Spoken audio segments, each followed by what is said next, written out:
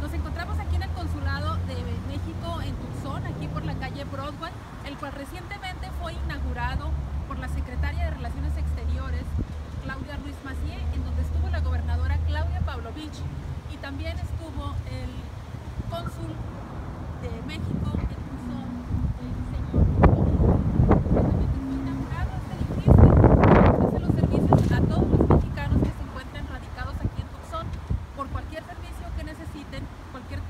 aquí en la ciudad de Tucson, Arizona.